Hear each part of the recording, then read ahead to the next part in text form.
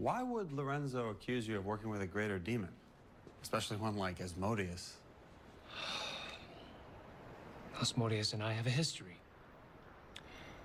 He's one of the few demons capable of doing something like this. Yeah, but we fought greater demons before. But I've never seen anything like what happened at that party.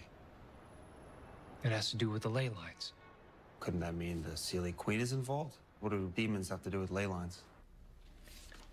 Healthy ley lines are the energy source for all magic, Seelie and Warlock alike, but they can become corrupted.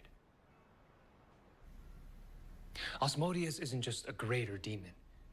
He's the most powerful prince of hell. And if Lorenzo's right, what happened at the party is just the beginning. And and you knew him personally.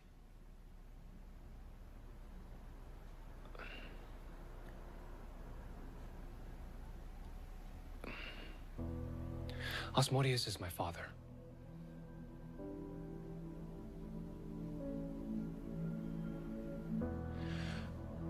Look, I'm sorry I never told you. I was ashamed.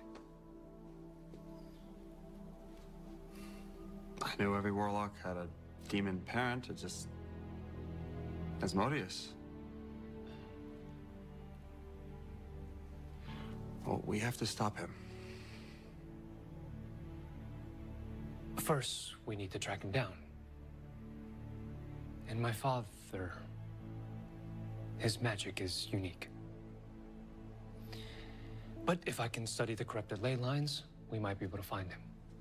What are we waiting for? We need to get into Lorenzo's mansion, and I'm afraid we'll never be able to portal through his wards without him knowing. We don't always have to use magic.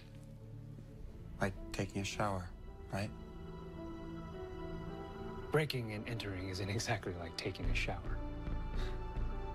Who said anything about breaking in?